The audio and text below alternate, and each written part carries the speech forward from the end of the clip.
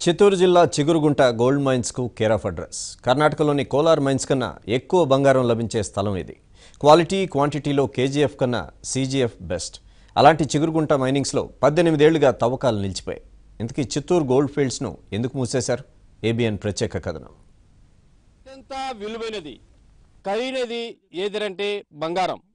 మరి అలాంటి బంగారం ప్రపంచంలో ప్రసిద్ధి చెందినటువంటి ప్రాంతం దక్షిణాఫ్రికాలోని క్లింబర్గి ఏపీలో అనంతపురం జిల్లాలో రామగిరి బంగారం లభించేటువంటి ప్రాంతాల్లో ఒకటిగా ఉంది. అదేవిధంగా చిత్తూరు జిల్లాలో బంగారం లభించినటువంటి ప్రాంత విషయానికైనా వచ్చినట్లయితే ఇంకెందుకు ఆలస్యం? నాతో కలిసి రండి. ఆ ప్రాంతాన్ని చూపిస్తా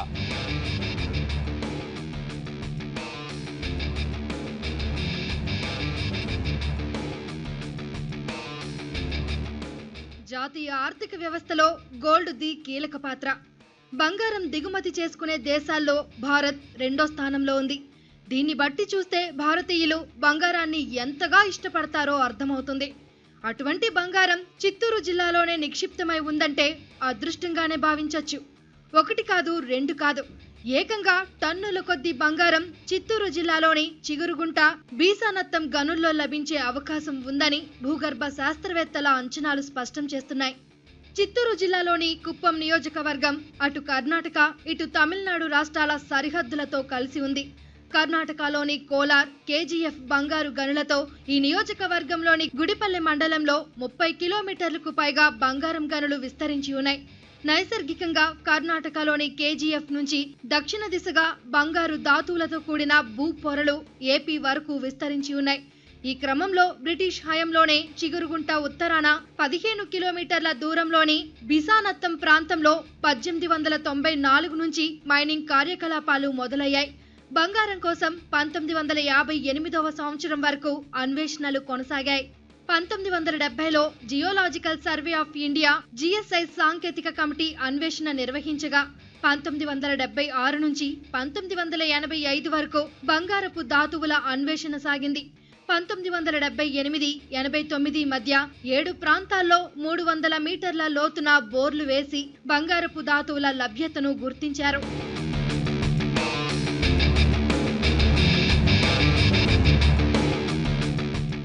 కేజీఎఫ్కు దక్షిణంగా ఇరవై ఐదు కిలోమీటర్లు ఎనిమిది కిలోమీటర్ల దూరంలో ఉన్న చిగురుగుంట బిసానత్తం బంగారు గనులు కుప్పం నియోజకవర్గం గుడిపల్లె మండలం పరిధిలోకి వస్తాయి. ఇక్కడ అపారమైన బంగారు గనులను గుర్తించిన కేంద్రం పంతొమ్మిది వందల డెబ్బై రెండులోనే Bharat gold mines limited BGML ద్వారా తవ్వకాలు ప్రారంభించింది. తర్వాత ఎందుకనో ఈ బాధ్యత బీజీఎంఎల్ నుంచి mineral exploration corporation limited MECL సంస్థకు పంతొమ్మిది వందల డెబ్బై ఎనిమిదిలో బదిలీ అయింది. తిరిగి పంతొమ్మిది వందల ఎనభై ఒకటిలో బీజీఎంఎల్కే బాధ్యతల బదలాయింపు జరిగింది.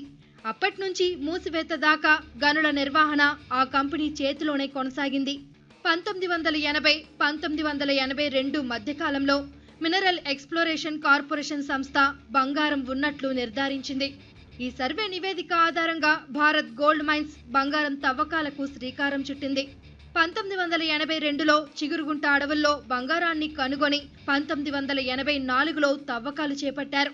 మొత్తం మూడు project adit east boundary staff south boundary staff విభాగాలుగా విభజించి తొమ్మిది గనుల్లో పనులు మొదలుపెట్టారు.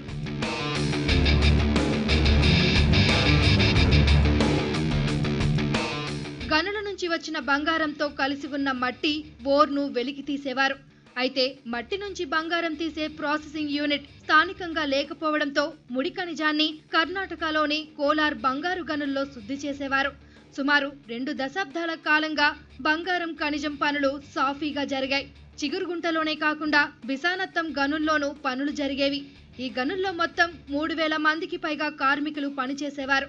అయితే చిగురుగుంట బిసానత్తం బంగారు గనుల తవ్వకాల్లో బయటపడిన ముడి పదార్థాన్ని అంతా శుద్ధి కోసం కేజీఎఫ్కు చేరకుండా మధ్యలోనే మాయమైపోతుందన్న ఆరోపణలొచ్చాయి. తవ్వకాలు నిర్వహిస్తున్న వారే మాయ చేస్తున్నారన్న అనుమానాలు వెల్లువెత్తాయి. దీనికి తోడు బంగారు గనుల తవ్వకాల్లో నష్టాలు వస్తున్నాయన్న నివేదికలు కేంద్ర ప్రభుత్వానికి అందాయి. వెంటనే కేంద్రం పంతొమ్మిది వందల తొంభై నాలుగు తొంభై ఏడు రెండు వేలలో మూడు కమిటీలను నియమించి నివేదికలు తెప్పించుకుంది. ఆ నివేదికల ఆధారంగా రెండు వేల ఒకటిలో చిగురుగుంట బిసానత్తం బంగారు గనులను తొమ్మిది సంవత్సరాల పాటు నిరవధికంగా మూసివేయడానికి నిర్ణయం తీసుకొని తక్షణం అమలు చేసింది కేంద్రం.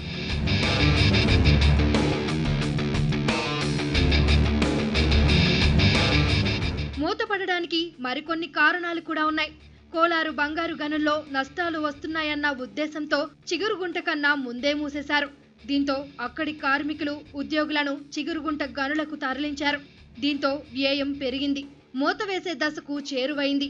అయితే కేజీఎఫ్ గనుల్లో టన్ను బంగారం ముడిమట్టికి రెండు నుంచి మూడు గ్రాముల బంగారం మాత్రమే వచ్చేదని. అయితే చిగురుగుంట గనులలో మాత్రం టన్ను ముడిమట్టికి పన్నెండు నుంచి పదిహేను గ్రాముల బంగారం వచ్చేది. దీంతో ఇక్కడ పనులు అప్పట్లో బాగా సాగాయి. ఉద్యోగులు కార్మికుల సంఖ్య పెరగడంతో కొనసాగింపు కష్టతరమైంది. గనుల నుంచి వెలికి తీసే బంగారం కన్నా ఖర్చు ఎక్కువగా అవడంతో చిగురుగుంట కూడా మూతపడింది.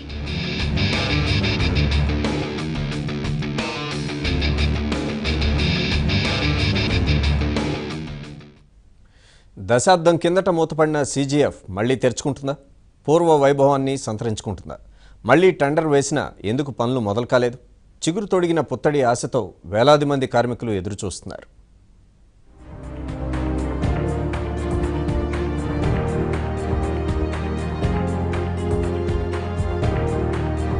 బంగారు గనులను మూసివేయడం వెనుక కేంద్ర ప్రభుత్వం ఉద్దేశం ఏదైనా.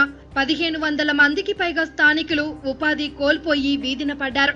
బిసానత్తంతో పాటు గుడిపల్లె మండలంలోని వివిధ గ్రామాలకు చెందిన యువకులే వీరిలో అధికంగా ఉన్నారు. వీరెవరికి బంగారం గనుల్లో శాశ్వత ఉద్యోగాలు లేవు. వాచ్మ్యాన్ గని కార్మికులు సెక్యూరిటీ గార్డులు వంటి తాత్కాలిక ఉద్యోగులు చేసిన వారే చాలా మంది కొంతమందికి మాత్రమే శాశ్వత ఉద్యోగాలు కల్పించారు. రెండు వేల ఒకటిలో కేంద్ర ప్రభుత్వం గనులను మూసివేయగానే ఆ తాత్కాలిక ఉద్యోగాలు కూడా కోల్పోయిన స్థానిక యువతకు ఏం చేయాలో పాలుపోలేదు. కొన్ని రోజుల పాటు ఆందోళనలు చేశారు. నాటి సీఎం చంద్రబాబు నాయుడు బంగారు గనులను తెరిపించాల్సిందిగా వినతులు చేసుకున్నారు. వ్యవహారం కేంద్ర ప్రభుత్వాంది కావడంతో రాష్ట్ర ప్రభుత్వం ఈ విషయంలో ఏమీ చేయలేకపోయింది.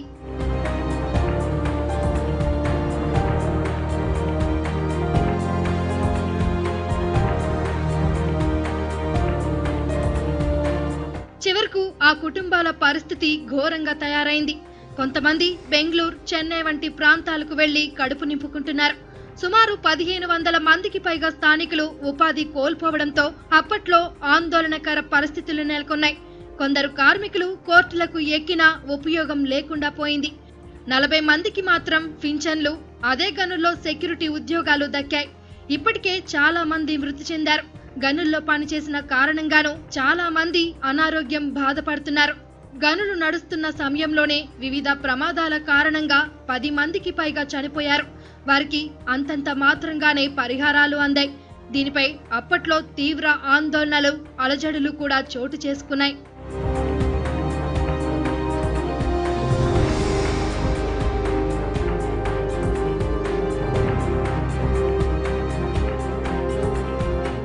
మూతపడి రెండు దశాబ్దాలు కావస్తున్నందున యంత్ర పరికరాలు తుప్పుబట్టి శిథిలావస్థకు చేరుకుంటున్నాయి.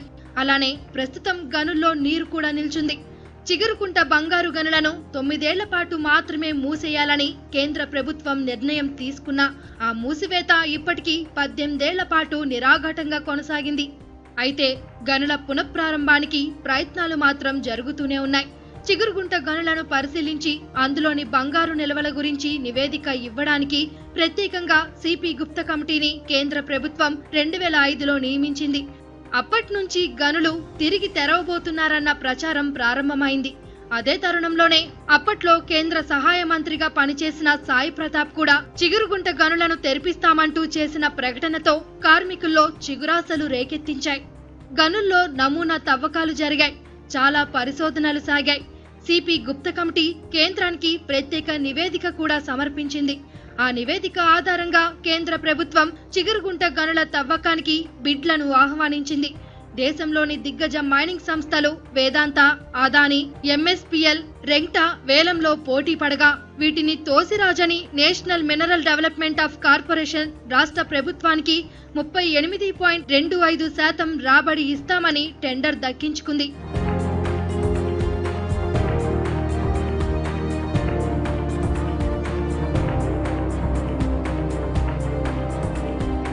రెండు వందల అరవై మూడు హెక్టార్లలో విస్తరించిన గనుల నుంచి ఏకంగా ఒకటి పాయింట్ ఎనిమిది మూడు మిలియన్ టన్నుల ముడి పదార్థాన్ని ఉత్పత్తి చేయడం లక్ష్యంగా పెట్టుకుంది. ఒక టన్ను ముడి పదార్థం నుంచి ఐదు పాయింట్ ఒకటి ఐదు గ్రాముల బంగారం ఉత్పత్తి చేయగలమని అంచనా వేశారు. మొత్తం మీద పునఃప్రారంభమైన గనుల తవ్వకాల ద్వారా ఎనిమిది పాయింట్ ఐదు టన్నుల బంగారం ఉత్పత్తి చేయగలమని గుప్త కమిటీ నివేదికలో పేర్కొంది. బిట్ దక్కించుకున్న కంపెనీల తవ్వకాల ద్వారా తాము ఉత్పత్తి చేసిన బంగారం నుంచి ముప్పై ఎనిమిది పాయింట్ రెండు ఐదు శాతం బంగారం ప్రభుత్వానికి ఇవ్వాలన్నది నిబంధనట. అయితే ఈ ప్రక్రియలన్నీ కొనసాగి ఏళ్ళు కావస్తున్నా ఇంకా పనులు ప్రారంభించకపోవడంతో కార్మికులు ఆ ప్రాంత ప్రజలు ఆవేదన చెందుతున్నారు. టెండర్లను దక్కించుకున్న ఎన్ఎండిసి గనులను ప్రారంభించి తవ్వకాలను ఎప్పుడు చేపడుతుందా అన్న కోటి ఆశలతో ఎదురుచూస్తున్నారు. మన మోడీ సార్ గారు కానీ దీనిపైన సరి తీసుకొని కానీ సంతకం పెడితే ఖచ్చితంగా మనిషి నడుస్తుంది. తిరిగాను చిగురుగుంట బిస్వనాథ్ రెండు మాసం ఓపెన్ అవుతుందని చెప్పి ఆల్రెడీ మాట్లాడింది అయింది. ఢిల్లీలో టెండర్ కూడా అయింది. ఎన్ ఎన్ఎండిసి కంపెనీకి టెండర్ కూడా అయింది. గవర్నమెంట్లోనే ఆడ గవర్నమెంట్ మాకు టెండర్ అయింది. మేము గవర్నమెంట్లో నడిపిస్తూ ఉన్నాము. అని చెప్పి వాయిని ఇప్పుడు ఏమంటారంటే వాయిని నడిపించాలంటే మేము నష్టేడు మేము ఇచ్చేయలేదు. ఎన్నో కుటుంబాలు బతుకుతూ ఉండింది ముందర. ఏమో జరుగుతూ ఉన్నప్పుడు ఇప్పుడు నిలిచిపోయింది ఈ మైన్స్. నిలిచిపోయిన మన జగన్మోహన్ రెడ్డి కోరుకుంటా ఉన్నాం నడిపాను సార్. అట్లని అడుక్కుంటా ఉన్నాం. మీరు దయపెట్టి నడిపేయాలని కోరుతా ఉన్నాం సార్.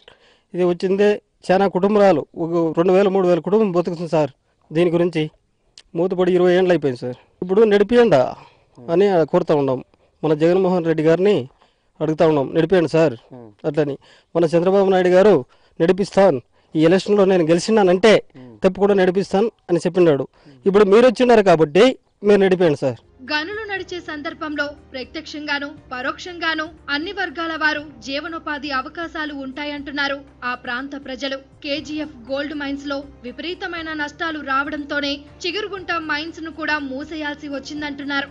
భారత్ గోల్డ్ మైన్ నుంచి చిగురుగుంట గనులను వేరు చేసి రాష్ట్రానికి కేటాయిస్తే అనేక సంస్థలు ముందుకొస్తాయని గతంలో ఇక్కడ పనిచేసిన కార్మికులు అంటున్నారు అలా చేస్తే గోల్డ్ మైనింగ్ ద్వారా రాష్ట్రానికి కూడా ప్రత్యేక గుర్తింపు వస్తుందంటున్నారు. పంచాయతీలోనే రెండు వందల మనిషి దాకా ఉండేవాళ్ళు.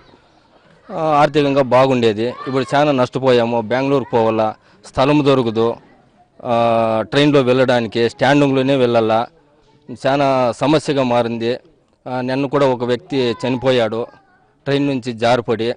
ఆ విధంగా మాకు సమస్యలు ఎక్కువ ఉన్నాయి ఈ బీజేఎంఎల్ ఓపెన్ అయితే ఇక్కడే మాకు దగ్గరలోనే ఉపాధి దొరుకుతుంది కాబట్టి మా సమస్య తీరుతుందని కోరుకుంటా ఉన్నాను సార్.